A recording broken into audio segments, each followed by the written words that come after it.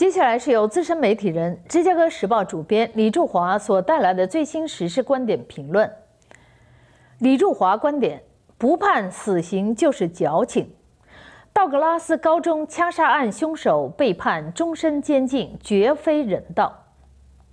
曾经轰动全美的2018年佛罗里达州道格拉斯高中枪杀案，杀死了17人，并使另外17人重伤的校园枪手尼古拉斯·克鲁茨，经过陪审团两天的审议后，做出了决定：凶手不被判处死刑，仅被判处终身监禁，不得假释。这个决定对受难者家属而言，无疑是一个重大的打击。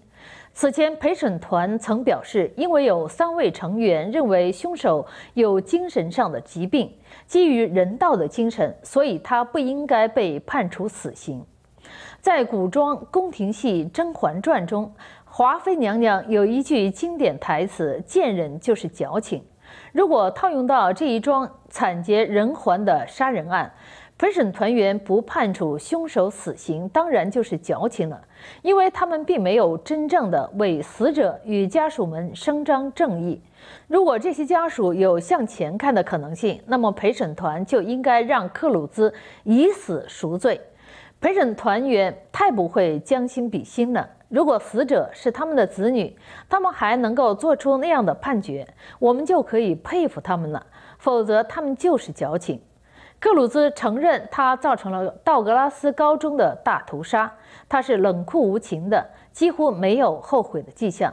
虽然去年他确实在法庭上说过：“我为我所做的事感到非常抱歉。”枪击发生前，他拍摄了一段令人毛骨悚然的手机视频。视频中，他讨论了自己想要杀死至少二十人的愿望，显示出他的预谋和对生命的漠视。二零一九年，检察官拒绝了克鲁兹的辩护提议，并要求判处三十四次连续终身监禁。在克鲁兹承认了十七项谋杀指控和十七项谋杀未遂指控后，他们坚决要求判处他死刑。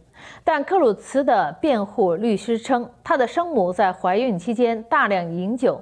他患有胎儿酒精谱系障碍，导致他行为不稳定和暴力倾向。如果这样的理由都能够让死者不必偿命，那么以后所有杀人凶手都可以用同样的理由脱罪。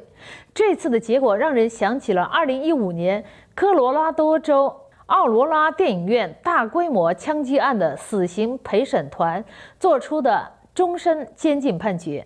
该枪击案造成十二人死亡，数十人受伤。在那起案件中，一名陪审员表示坚决反对谴责赫姆斯，因为他患有严重的精神疾病。另外两名陪审员和他一起反对死刑。最终。詹姆斯·赫姆斯被判处终身监禁，不得假释。